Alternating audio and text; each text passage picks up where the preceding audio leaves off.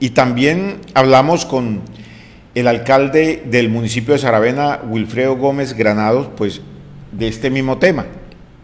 Eh, el alcalde nos decía que pues eh, a ellos no le dieron la palabra en diálogo social, porque según lo que hemos podido conocer que el presidente Petro a las autoridades civiles de los diferentes municipios, departamentos, pues no les da la palabra, sino que él quiere escuchar es a los líderes sociales, defensores de derechos humanos y algunos gremios.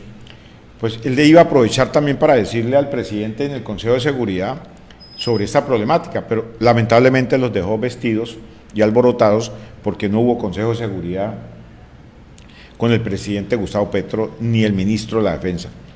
Entonces, él dice que más o menos se necesitan unos 8 mil millones de pesos eh, para poder solucionar esta problemática que la verdad no encuentran qué hacer para suministrar el agua potable en, en Saravena, debido a que allí está el mejor hospital del departamento, eh, están surtiendo eh, de agua potable al hospital con carrotanques, van a quedar algunos colegios, algunos colegios de, de, Saravena suspenden un día las clases, otros asisten, otro día no, porque eh, hay días que no cuentan con agua potable y la verdad que esto tiene preocupado a Saravena, que espera que el presidente eh, haya notado, como se dice, eh, la, la, petición de, del señor Argüello, gerente de ECAS, y que se pueda tener algunos recursos eh, del orden nacional.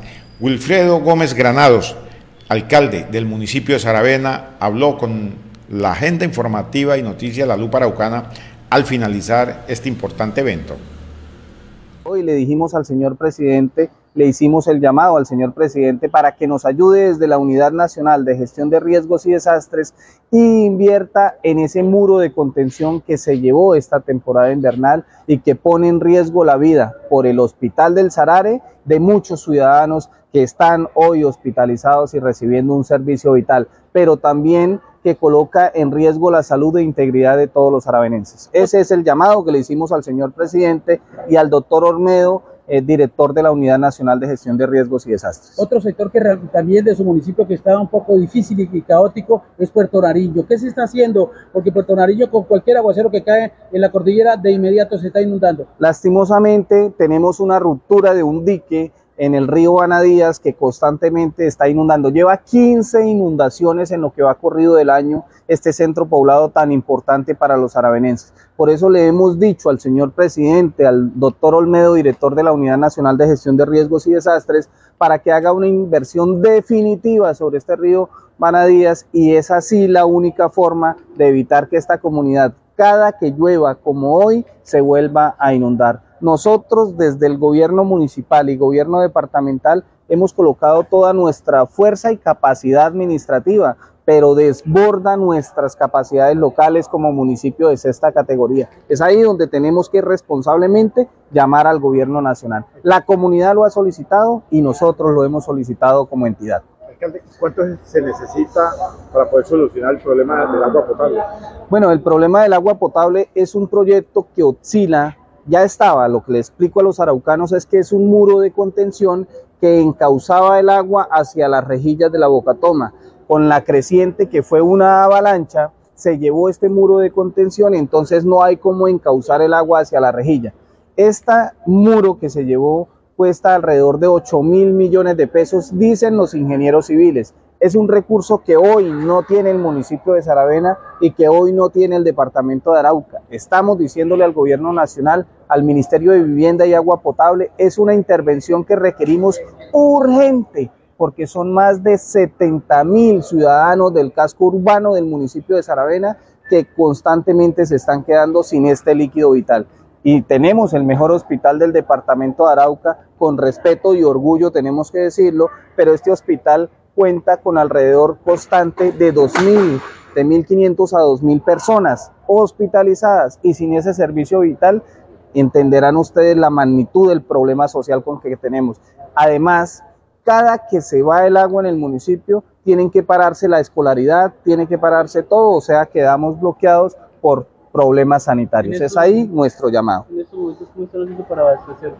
Nosotros hicimos un plan en conjunto con el gobierno departamental, el gobierno municipal y la empresa de acueducto y alcantarillado y colocamos un cierre permitido por Corporinoquia con unos enrocados. Eso está sosteniendo momentáneamente, pero no es una solución definitiva. Nosotros requerimos y solicitamos al gobierno departamental y gobierno nacional una inversión sobre el muro de contención porque cada que hay una creciente estamos nuevamente sin agua los aravenenses. Habla del gobierno nacional, ¿cómo va el cumplimiento de los acuerdos en la mesa con las organizaciones eh, sociales en torno a lo que fue Saravena, eh, la construcción de la recuperación de unos puentes y otros aspectos de este importante acuerdo que hasta el momento no sabemos cómo va? Bueno, ese acuerdo que fue hace muy poco, tengo que decir públicamente para todos los araucanos que el primer compromiso ya se está cumpliendo, el compromiso de la maquinaria amarilla para los cinco municipios, incluido la capital del departamento de Arauca, el municipio de Arauca, un compromiso de alrededor de 12 mil millones de pesos en maquinaria amarilla para los municipios. Ya hoy manifestó el señor presidente su voluntad de que el Ministerio de Hacienda permita este proyecto y hoy también la empresa Pares Resort ratificó de que ya está matriculado y solo estamos a espera de que se dé el cierre de la convocatoria. Segundo, los otros compromisos están viniendo en trámite entre todos los alcaldes, pero en conjunto con todo el acompañamiento social de líderes sociales y en conjunto con los funcionarios delegados por el ministerio para tal fin. Puedo decir un parte positivo hasta el momento en lo que va tan corto de tiempo. Finalmente, la presencia del presidente de la República, ¿cómo la, cómo la califica? Bueno, es una presencia favorable para los araucanos porque no tenemos constantemente la oportunidad de tener un presidente oyendo directamente sus comunidades acá en el territorio.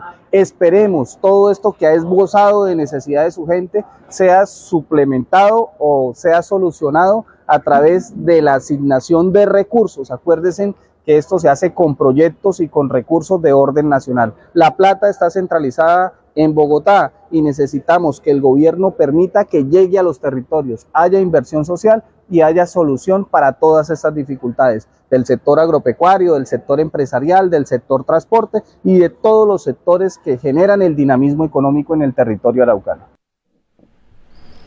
El alcalde del municipio de Saravena, Wilfredo Gómez, hablando sobre el tema del agua potable en su municipio, la Bocatoma, que prácticamente una avalancha se llevó un muro de contención y que en estos momentos los tiene en una emergencia y que se espera que ojalá el presidente de la República le responda al gerente de ECAS sobre la solicitud que han hecho para poder mejorar o para poder solucionar esta problemática que tiene sin agua potable al municipio de Saravena.